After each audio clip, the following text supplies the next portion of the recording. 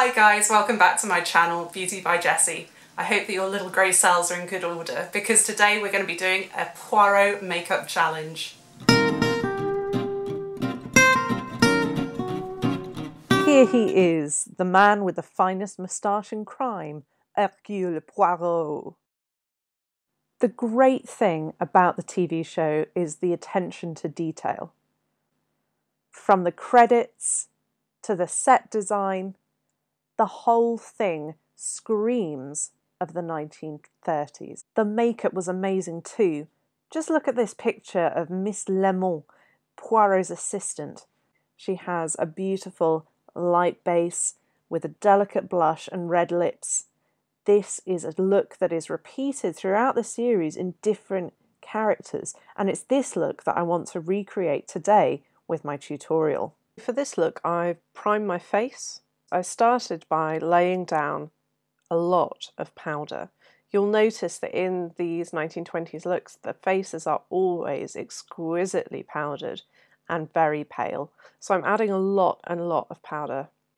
In the 1930s, it was often quite common for beauty trends to be inspired by film stars, and they often kept their skin very, very pale. They used white or ivory tinted powder or rice powder applied on top of a classic vanishing cream.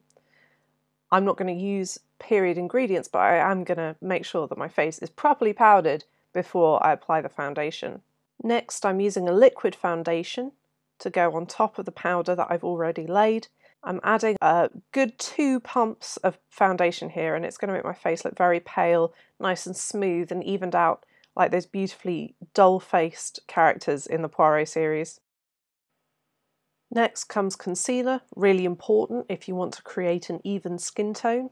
Then I prime my lids. I'm using Shadow Insurance by Too Faced today. After priming, I blend in my concealer.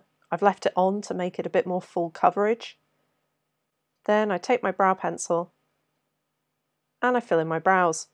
Brows are tricky because in the 20s and 30s the fashion was for very, very skinny brows and I'm not really into that. So what I've done instead is to fill in my brows a little less full than I'd normally do.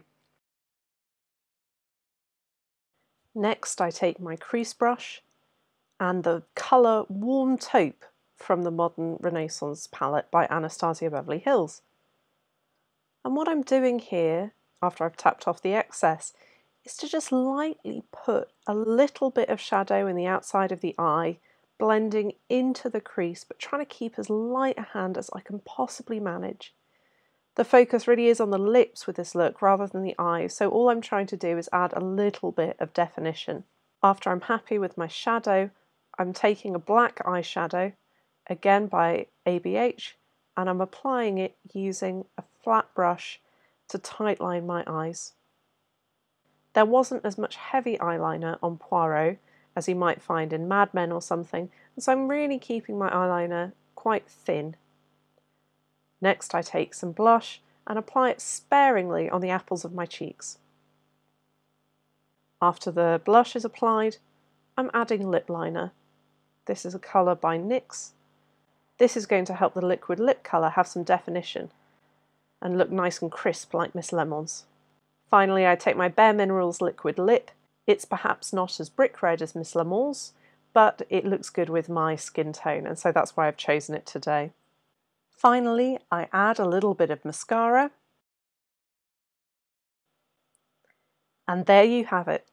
That's the finished look. There we go. Thank you for watching. Don't forget to subscribe and I'll see you next time. Bye!